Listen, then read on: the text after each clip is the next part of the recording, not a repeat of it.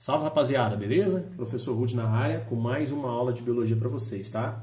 Hoje a gente vai falar de um assunto importante para Enem vestibular. Esse assunto é conhecido como imunidade, tá?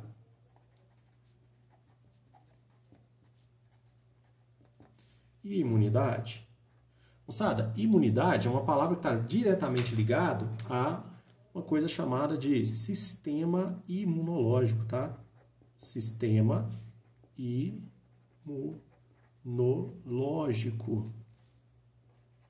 Sistema imunológico, pessoal, é um conjunto de estruturas biológicas que protege o nosso corpo contra agentes causadores de doença, agentes agressores, tudo bem? E também protege o nosso corpo contra algum tipo de célula que tem um funcionamento anormal. Células que possam estar com algum defeito ou, porventura, sejam células cancerígenas, tudo bem? Bom, quando se trata de sistema imunológico, a gente tem uma série de estruturas que estão ligadas à defesa do nosso corpo, tá? Células, órgãos, okay, tecidos. Bom, nessa aula eu vou explicar para vocês os tipos de imunidade, tá bom? E vamos falar de um tipo. Na próxima aula, para o vídeo não ficar muito extenso, eu falo do outro tipo de imunidade.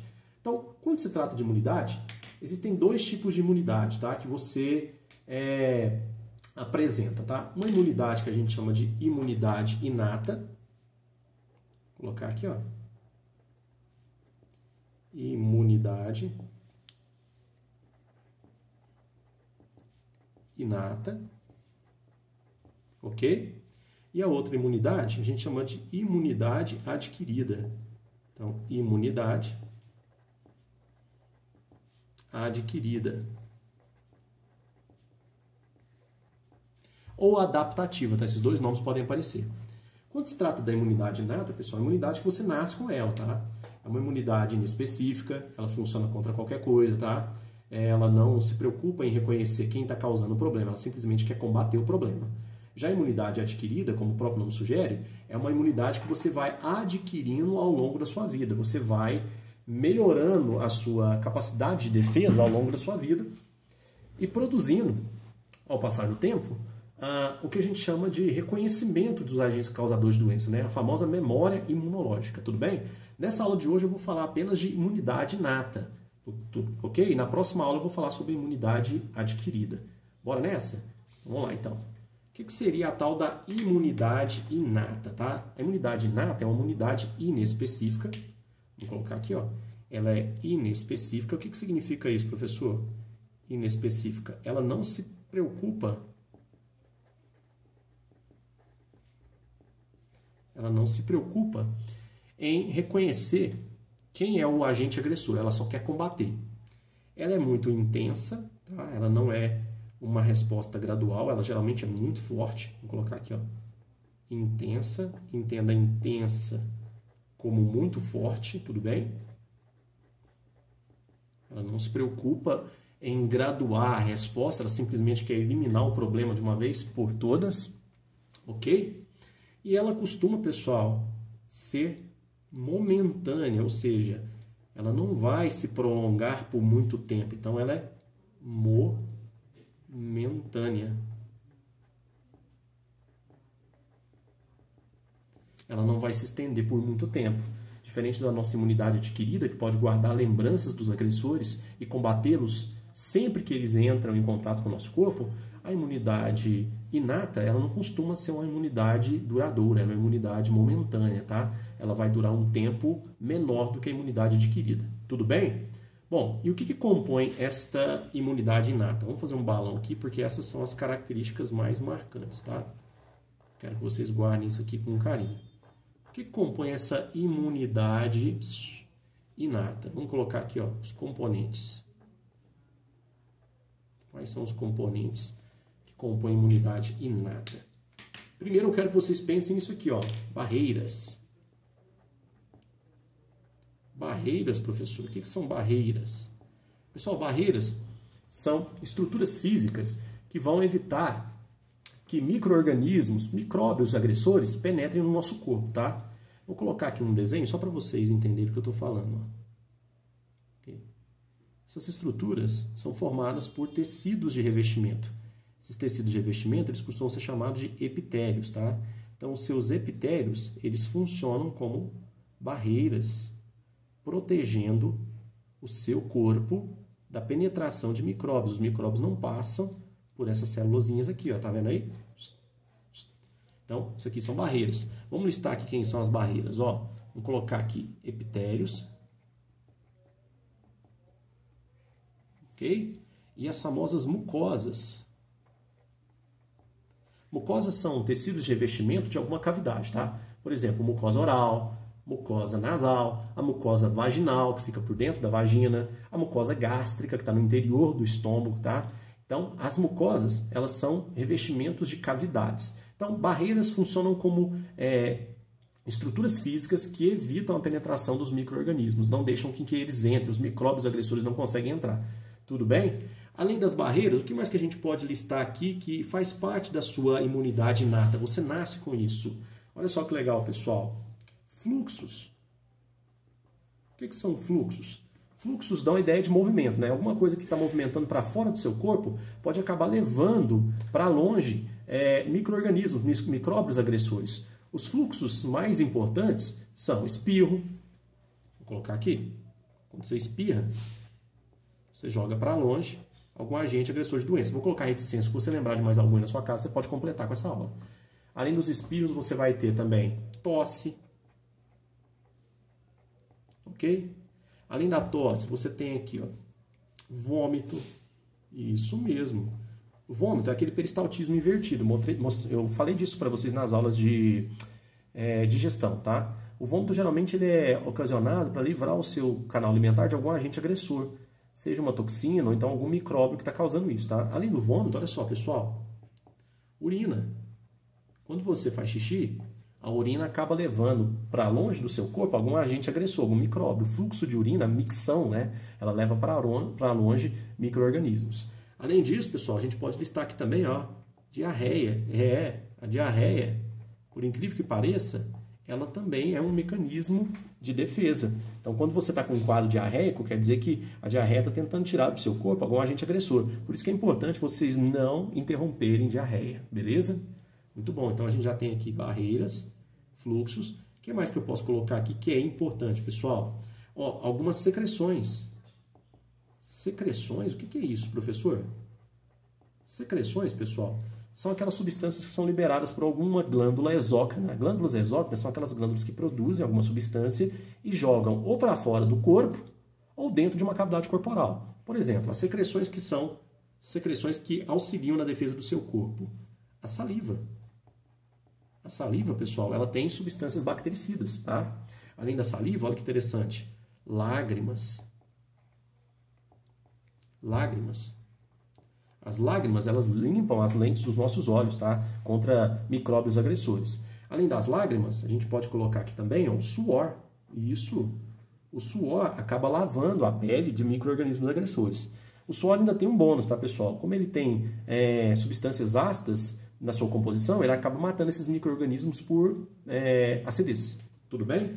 Além da lágrima, saliva, suor, existem outras aqui que eu não vou entrar em detalhe, como por exemplo suco gástrico, né, o suco pancreático, mas isso aqui já dá para você ter uma noção do que eu estou falando. Então até agora você tem aqui barreiras que formam é, verdadeiros paredões evitando a penetração de micro-organismos. Né? As barreiras são produzidas por epitérios, estruturas de revestimento e mucosas. Tá? Fluxos o que, são fluxos mesmo, pessoal? São aqueles movimentos para fora do seu corpo que vão levar micróbios agressores. Espirro, tosse, vômito, urina, diarreia. Secreções são substâncias produzidas por glândulas exócrinas que têm propriedade bactericida. Saliva, lágrimas, suor e lá vai, ok? Outra coisa muito importante com relação à imunidade inata é o aumento súbito de temperatura frente a alguma infecção. A gente chama isso de febre, ok? A febre ela protege o seu corpo. Lembra que a febre é um aumento súbito de temperatura. Vou fazer um termômetrozinho aqui para vocês não se esquecerem, tá? Quando a temperatura sobe muito, tá? Quando a temperatura sobe muito, você tem aí o que a gente chama de febre. Gente, todos esses mecanismos que eu listei para vocês, eles não é, estão importando ou não se importam em reconhecer quem está causando o problema. Eles simplesmente querem ou evitar o problema ou acabar logo com o problema. Febre, por exemplo.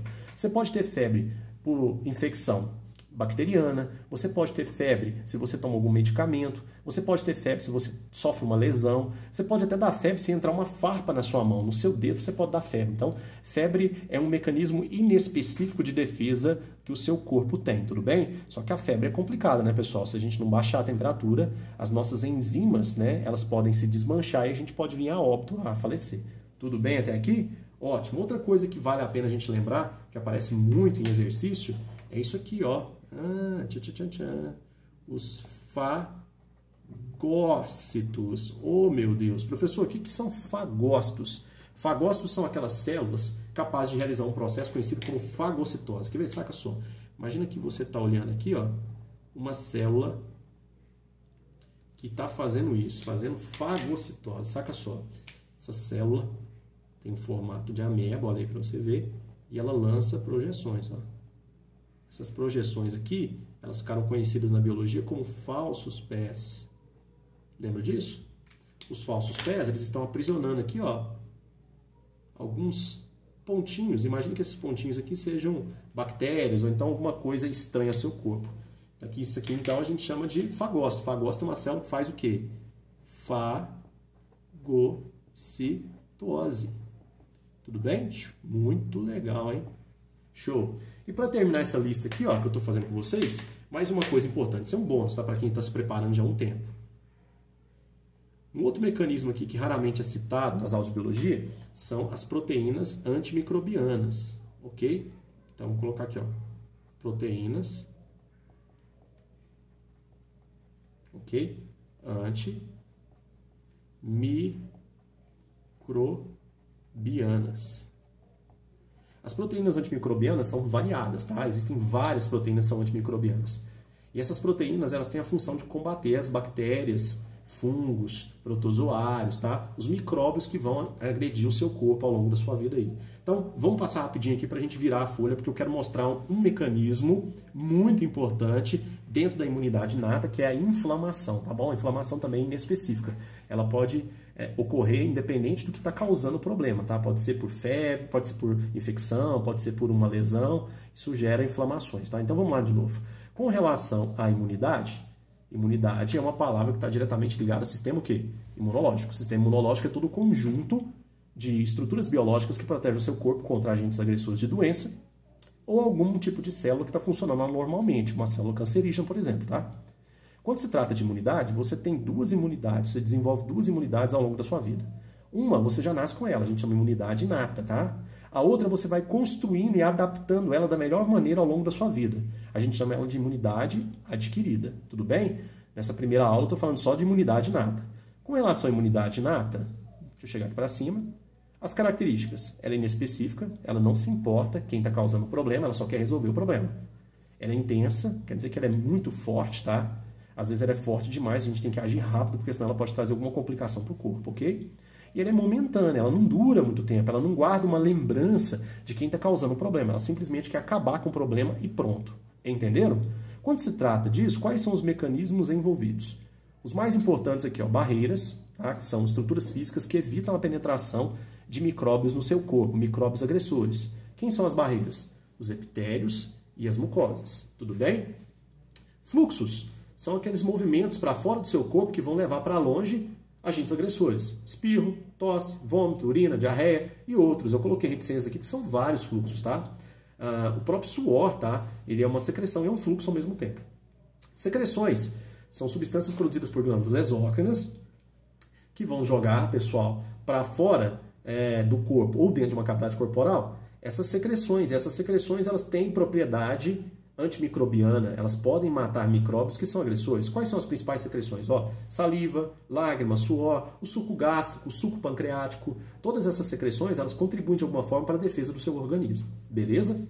Febre, que é um mecanismo inespecífico, tá? Então tá aqui dentro da imunidade inata. Você pode desenvolver febre quando você tem uma lesão, quando você sofre uma infecção, você pode desenvolver febre até quando o seu emocional está abalado, tá? Vamos imaginar que você foi mal numa prova, por exemplo, uma prova de biologia, não estudou o suficiente. Por causa do emocional, você pode desenvolver febre, por incrível que pareça, tá? Fagócitos são aquelas células que fazem fagocitose, tá? Aí eu coloquei aqui do lado para você ver um fagócito. Lembra que na fagocitose a célula emite essas projeções aqui que ficaram conhecidas como pseudópodes ou falsos pés. Beleza? E para terminar, as proteínas antimicrobianas, que são proteínas que matam micróbios, tá? Talvez uma das proteínas antimicrobianas mais famosas seja o interferon gama, tá? Existem outras também, como interleucinas e lá vai. Bom, espero que vocês tenham gostado dessa parte. Agora eu vou virar a folhinha aqui. Depois, se necessário, eu mando uma foto dessas anotações para vocês para a gente falar sobre inflamação. Isso mesmo, inflamação, tá bom? Deixa eu trocar a folhinha aqui. Fala aqui de inflamação.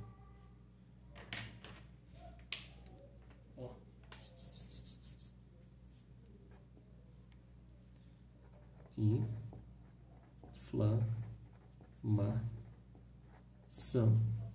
Professor, o que é inflamação? Pessoal, inflamação é uma resposta inespecífica a algum processo infeccioso, algum trauma, ok? Algum, alguma infestação, ou alguma reação a algum medicamento, tudo isso é uma inflamação. Como o próprio nome sugere, inflamação dá a ideia de queimação, de ardor, né? Bom, a inflamação é caracterizada por três coisinhas importantes. Vamos colocar aqui. Quais são as coisas importantes? Primeiro, ó, rubor. Ok? O que, que significa rubor, pessoal? Vermelhidão. Ok? Calor. Você sente que na região da inflamação está bem quente, tá? Tá bem é, intensa. Tudo bom? Mais uma coisa aqui importante, ó. Dor, ok? Dor também é algo muito intenso quando se trata de inflamação. Vamos simular aqui uma situação de inflamação para vocês entenderem um pouco melhor, tá? Imagina o seguinte, imagina que essa linha aqui, ó, que eu estou fazendo, represente a pele. Ok? Represente a pele. E aí a pele, pessoal, é uma barreira, tá? porque ela tem aqui epitélio. Eu disse para vocês na primeira parte da folhinha que epitélio é uma barreira. E aí vamos imaginar que entrou aqui, ó, um espinho. Olha que maravilha, entrou um espinho na pele. Então, um espinho. Obviamente, pessoal, quando entrar o espinho, ele vai perfurar a pele e ele vai acabar jogando aqui dentro, ó, bactérias. Vou apresentar as bactérias aqui com pontinhos verdes. Ó. Essas bactérias que estão entrando aqui, gente, podem ser bactérias pacíficas, mas também podem ser bactérias causadoras de problema. Então, o que, vai acontecer? Vai acontecer o seguinte, ó, vou colocar aqui embaixo, na linha vermelha, um vaso sanguíneo. Então, esse aqui que você está vendo é um vaso sanguíneo. Tem mais vaso para cá. Tem mais vaso para cá. E o que está circulando aqui dentro, pessoal? Sangue, não é? Então, esse aqui é um vaso. Um vaso sanguíneo. O vaso sanguíneo está associado à pele. Muito comum isso. Quando você corta a pele, é comum sangrar, não é? Entrou um espinho. Veja que não foi uma perfuração muito profunda, porque não atingiu o vaso sanguíneo, mas foi uma perfuração. Chegou a entrar aqui, ó, micróbios. Vou colocar aqui, ó, micróbios. Tudo bem? O que, que vai acontecer, pessoal? Vocês vão entender o seguinte, ó, aqui na pele você vai encontrar células de defesa. Nós estudamos algumas dessas células já. São células brancas, tá? Essas células brancas estão aqui, ó, patrulhando o tecido. Essas células brancas, que eu estou redesenhando aqui com canetinha rosa, elas são chamadas de mastócitos. Como é que é o nome delas, pessoal? Mastócitos. O que, que os mastócitos fazem, pessoal? Os mastócitos vão liberar substâncias químicas inflamatórias. São as substâncias que vão desencadear o processo de inflamação. As substâncias químicas inflamatórias principais que são liberadas aqui são duas. Ó, vou, desenhar, vou descrever aqui dentro do vaso sanguíneo para você conseguir enxergar a beleza aí da sua casa. As substâncias inflamatórias são duas. Ó, a histamina. Lembra desse nome? Esse nome é muito. A gente fala muito desse nome quando a gente fala de antialérgico, né? Antihistamínico. E uma outra substância que é liberada também é a heparina. Ô professor, para que serve essa substância? Bora lá. Quando os mastócitos liberam essas substâncias conhecidas como substâncias inflamatórias, acontece uma modificação no vaso sanguíneo. O vaso sanguíneo está aberto, ou perdão, está fechado, mas na presença dessas substâncias ele se abre muito, ok? Como ele se abre muito, muito sangue acaba fluindo por esse vaso sanguíneo.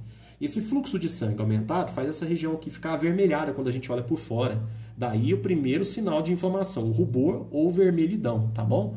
Na medicina eles chamam isso de eritema, tá? Eritema é a mesma coisa de vermelhidão. Então a histamina faz o vaso sanguíneo abrir bastante, é um vasodilatador, tá? Então a heparina é um vasodilatador. Então o vaso vai abrir bastante.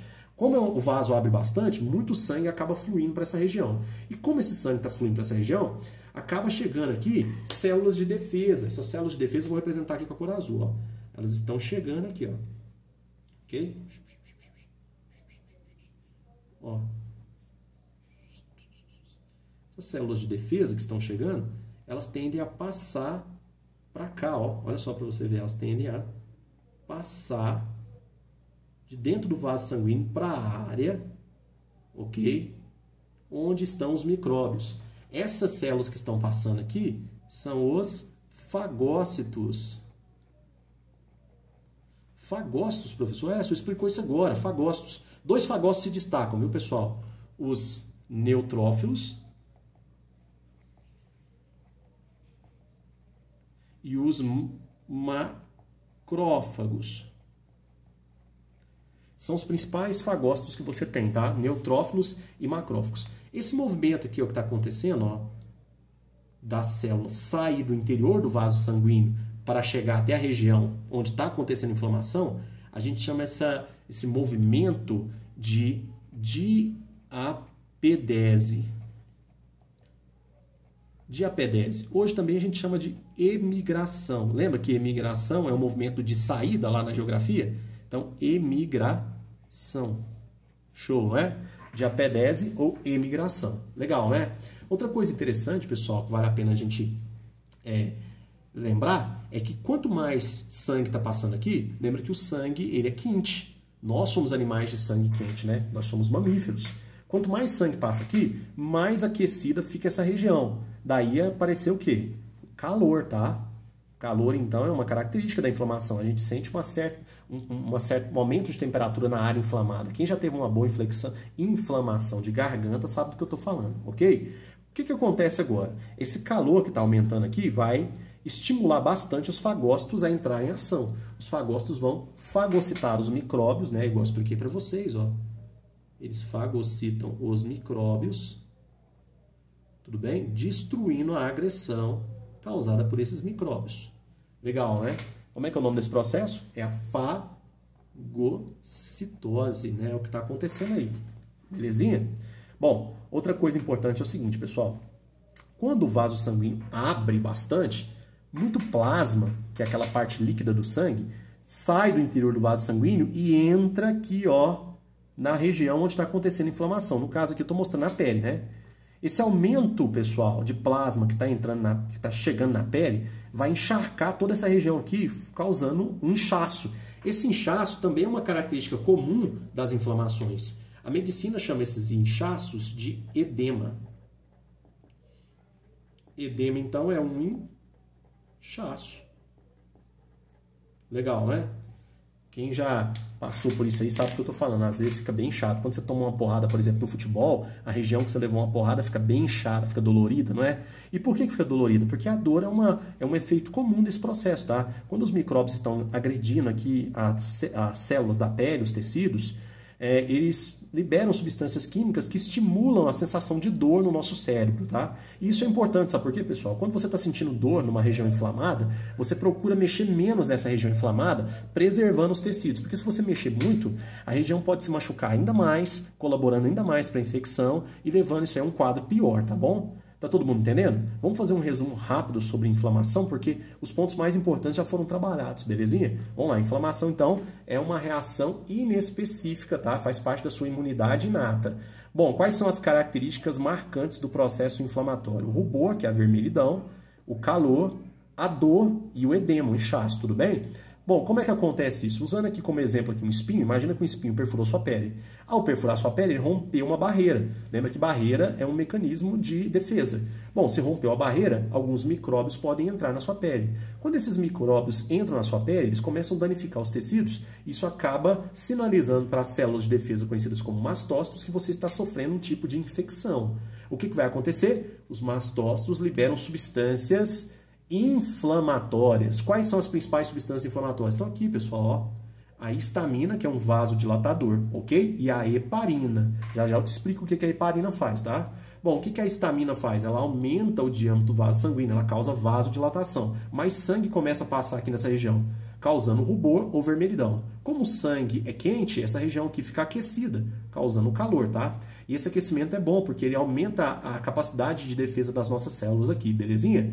Outra coisa importante, como mais sangue está chegando aqui, células de defesa começam a migrar para a área que está sendo atacada pelos micróbios. Essa migração é chamada de diapedese.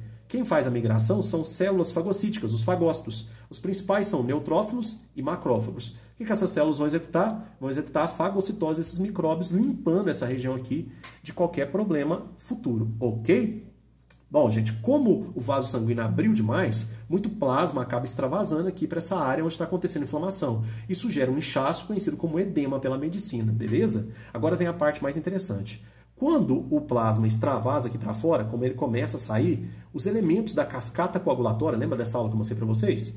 Os elementos das proteínas de coagulação acabam passando aqui para fora do vaso. Essas proteínas podem coagular, podem formar coágulos aqui fora. Esses coágulos geram caroços, tá? Isso não é bom, sabe por quê? Diminui a motilidade ou a movimentação dos nossos fagócitos. Então, para evitar a formação de caroços aqui, ó, de coágulos aqui fora, entra em ação a heparina. A heparina, pessoal, ela é um va... Oh, perdão, a heparina, ela é um anticoagulator, um anticoagulatório. Ela vai evitar a formação de coágulos fora do vaso sanguíneo. Então, essas substâncias aqui inflamatórias, elas têm a função de vasodilatar e evitar a coagulação, beleza? E aí, professor, como é que vai terminar essa história? Vai terminar assim, ó.